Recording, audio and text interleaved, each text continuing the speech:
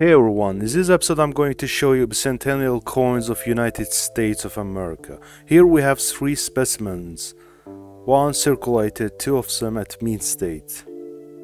The United States bicentennial coinage is a set of circulating commemorative coins consisting of quarter, half dollar and dollar struck by United States Mint regardless of when struck in 1975 or 1976. Each coin bears a double date 1776, 1976 on the normal obverses for the Washington quarter, Kennedy half dollar, and Eisenhower dollar. These coins have different reverse designs to pay tribute to historical events leading up to creation of United States of America as an independent republic. The 1976 peak-clad bicentennial quarter is one-year type, Philadelphia struck clad quarter is scarcer of the two in mintage and in high-grade condition.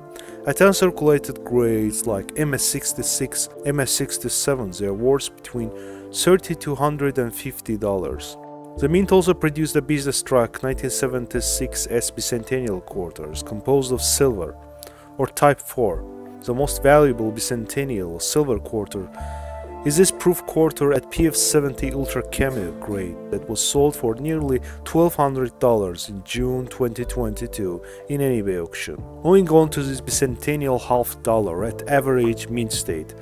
It has different reverse design, Independence Hall of Philadelphia. The US Mint struck over 200 million coins for this issue, making it very common.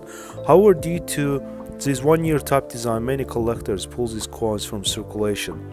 Some saved them as conversation pieces or many times setting them aside believing that they have some significant value. However, most examples in circulated grades are really common and only worth face value. Even some coins in uncirculated grades up to about MS63 can still be pulled from circulation. Examples in MS64 and MS65 require some searching and considered scarce in this grade in circulation. In MS66 condition, they become scarce overall with less than a few hundred examples known. At MintState 67, they are worth over $700.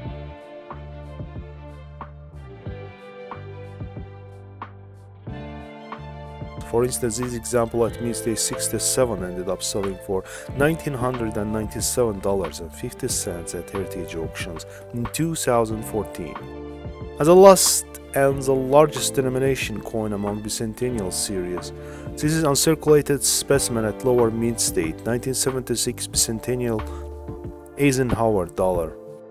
The 1976 Eisenhower dollar had one year reverse design displaying the Liberty Bell, as well as an image of the moon in the background. The 1976 Eisenhower dollars were actually struck in 1975, but had the date of 1976 on the actual coins.